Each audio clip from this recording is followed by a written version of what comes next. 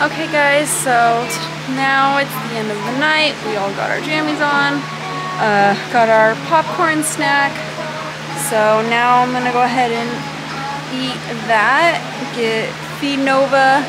Hopefully she'll go to sleep and then uh, put Freya to bed after and I can go to bed myself. So fingers crossed everything goes well, but we'll see how it goes.